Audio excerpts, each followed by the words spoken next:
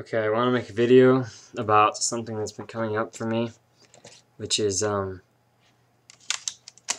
I got a bunch of pain medications for my fingers.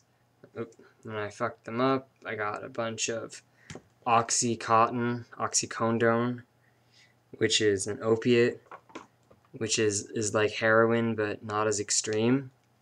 And I always want to use this shit.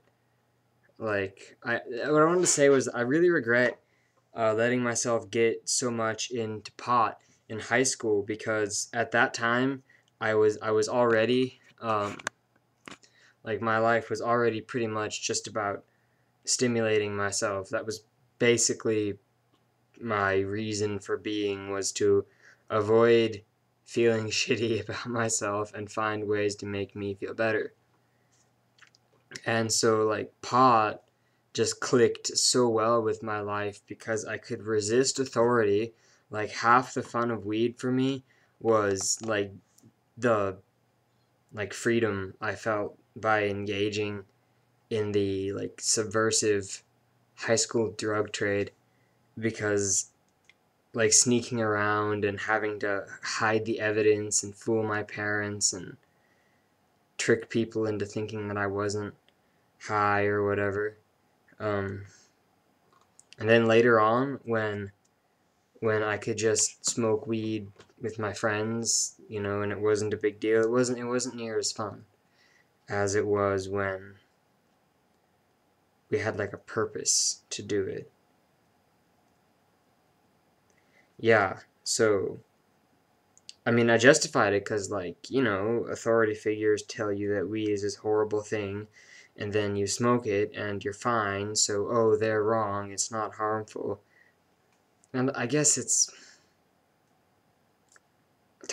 I mean, but the consequence of doing that is that I, I replace my old habitual system of stimulation, what was it, television and video games, and God, I was not a happy kid. um, I was not happy. Uh, food, video games, television.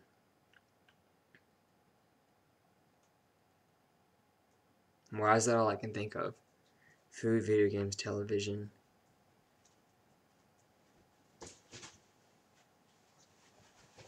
Yeah. So replace all that stuff with pot. Pot, I mean, it, it, it was more effective at stimulating me, you know? Like, that's why addictions are so common in society because it's, it's just the way the human mind works, except drugs are a more effective and easier way to do it. So, of course, people are going to be people and get addicted to drugs. But, like with Oxy now, now that I have it, I'm really, really cracking down to not take advantage of it, to stimulate and entertain myself. And it's difficult because, like, I mean, because I've already accepted, you know, drugs as being an easy way out. It's like who I am is like, cause like, it, it's literally like three or four times an hour whenever I like, I, I like slow down and, um,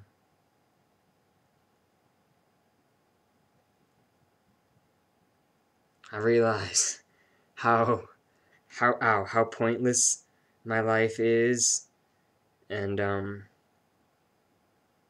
what a waste my life has been. um, it's like fuck it, I want to go use Oxy because it's like the easiest, most extreme, like the other stimulation that I typically use is music, food, cigarettes,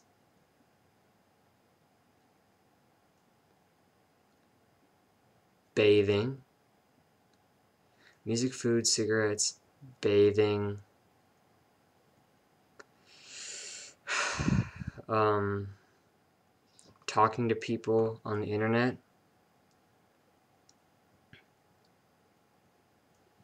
that stuff isn't one it's it's like one fourth of the stimulation that I get from oxy except it doesn't even last as long. Like the few moments of like, oh, things aren't so shitty. Like the like the um upness, like being brought up from being frustrated and hopeless and not wanting to be here, not wanting to be me. It, that lasts like maybe three, four, five minutes tops usually that kind of experience that I get through my normal, everyday, part of my life stimulation lasts like maybe 30 seconds, if that. That's like average. But um, the oxy will be like four times that for like 45 minutes to an hour. And so that's it's like drastic contrast.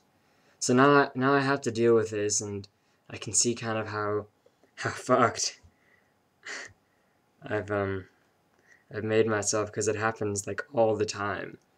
All the time I have to again deal with that point where it's like fuck it, I want to do oxy.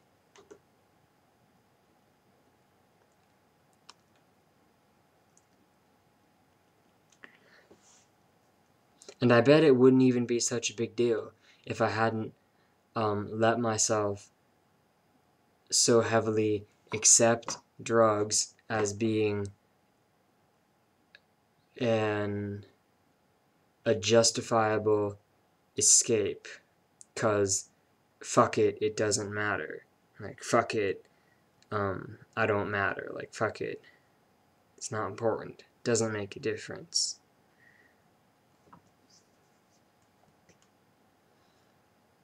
yeah, so that's like the consequence of me when I was 13 saying like okay, I'm going to get really into drugs because I don't like being myself and drugs make me forget. And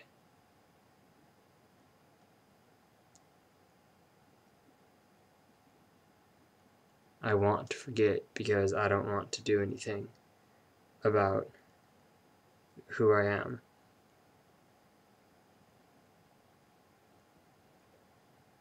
So that's probably what it's to feel like. You know, like like saying no to a whole bunch of money. Like that's what it's to feel like. Like if you could have a bunch of money um and say no to it just so that you won't let yourself use it to hide from yourself.